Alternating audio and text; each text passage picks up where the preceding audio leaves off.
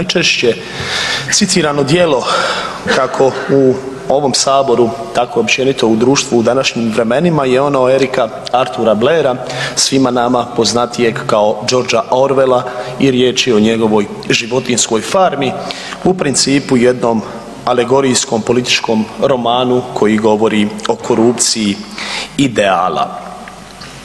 Dakle, životinjska farma kojom upravlja i koju vodi stalno pijani gospodin Jones, a polubijeli vepar po imenu Stari Major predvodi životinje i stalno im otvara oči označavajući gospodina Jonesa kao čovjeka, eksploatatora i mučitelja.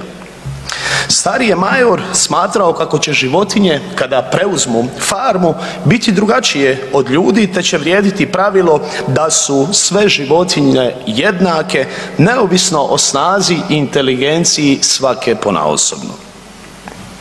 Nakon što je umro životinje su otjerale gospodina Jonesa s farme i preuzele farmu.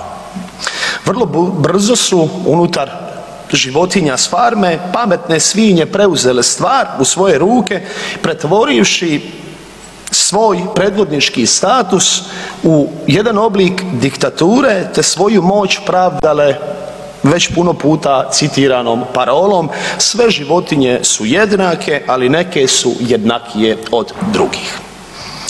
Velimir B 56-godišnjak koji je osuđen u periodu od 4 mjeseca nakon što je dovikujući u gradu Splitu izrazio kao građanin ono što je mislio. Presudom je proglašen krivim jer je, citiram, kršio javni red i mir, čime je prekršio članak 13 Zakona o prekršajima. Uz navedeno izrečena mu je kazna novčana u visini od 756 kuna.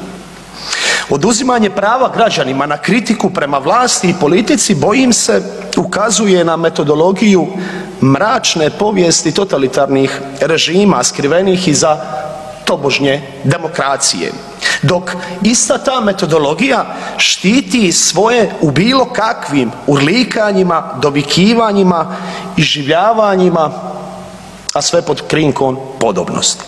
Nenad beskućnik koji je ne tako davno iz dućana ukrao suhomesnatu hranu i jednu vegetu za pojesti čija je vrijednost izrazito mala te je istu vratio u dućan, osuđen je promptno na 8 mjeseci zatvora.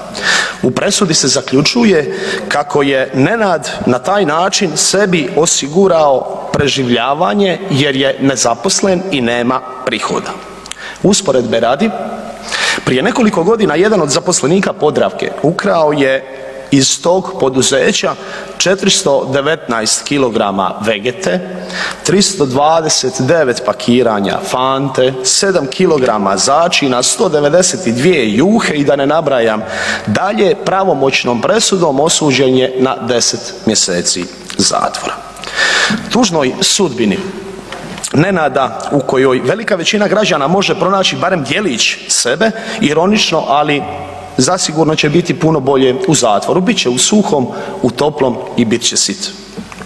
Velimira i Nenada u Hrvatskoj ima na pretek, ne samo u pravosudnom smislu nego i u svakom drugom, počevši od gospodarskog pogodovanja pa sve do cijepljenja protiv covida bez bilo kakvog reda samo definiranim nekakvim kriterijima u kojima postoji sve, ali samo kriteriji ne. Na njima sustav pokazuje i na Nenadu i na Velimiru kako je efikasno funkcionira i kako za pravnu državu uistinu nema straha. No je li to uistinu tako?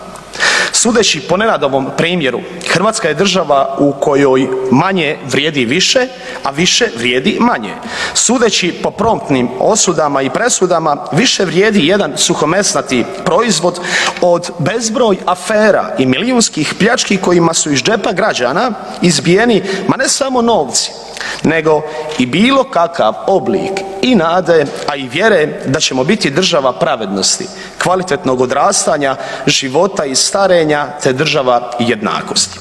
Država smo u čijim cjelokupnim porama i sustava i življenja vrijedi pravilo, jadan li je onaj iza koga nema tko stati.